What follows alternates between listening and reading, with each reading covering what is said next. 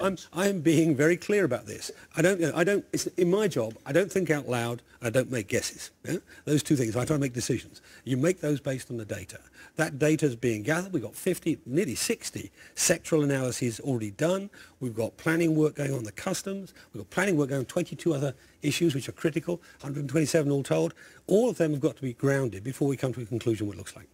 You've